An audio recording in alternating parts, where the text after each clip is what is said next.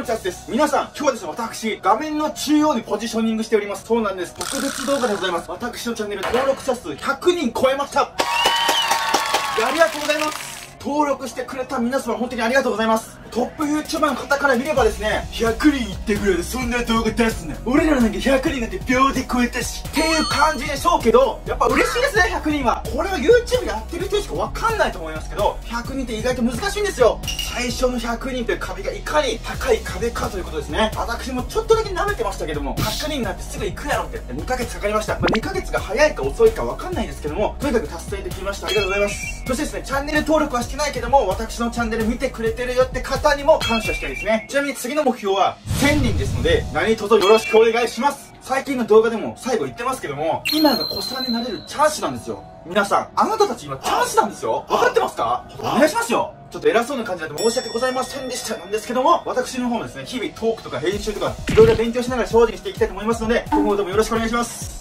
さて、ここからはですね、このチャンネルが7月以降ですね、ここから先、取り扱っていく作品について、大まかなスケジュール予定をお話ししていければなと思います。これまでと違う点はですね、一言で言えば、韓国のエンタメに着手していこうぜということですね。7月からですね、週に2本映画、週に2本リアルタイムのドラマを、このチャンネルで紹介していきたいなと思ってますけども、この映画2本のうち1本、週に1本を韓国映画取り扱っていきたいと思います。そして、ドラマの週2のうち1本は、テレ朝の六本木クラスですね。これ、イテオンクラスが原作の日本版リメイクした作品です。竹内涼真さんの作品ですね。これをねやっていきたいと思います。というのはです私韓国のエンタメの作品に触れたことがないんですね。本当に全部素人です。現在はこの動画を撮影してる時点でパラサイトすら見たことないんですね。なんで私自身韓国のエンタメの勉強をしながらその都度アウトプットしていきたいなとそういった感じですね、まあ、ということで不安もありますけども楽しみの気持ちの方が大きいですね。そして週2のドラマのうちもう1本は日曜劇場オールドルーキー綾野剛さん主演の作品ですね。やっぱり日曜劇場欠かせないんですけども今回の日曜劇場はちょっとショート動画のみにさせていただきます。なので紹介というよりはまあなんか短いまとめなのかそれともなんかまたモノマネのネタをするのか分かりませんけどもショート動画のみにさせていただきます。そして映画の収入のうちもう1本は私の好みの作品とか皆様に紹介した作品を完全に私の好みでセレクトしていきたいなと思います。といった構成でですね7月以降やっていきたいなと思っております。そしてですね動画とは関係ないんですけども100人を記念して私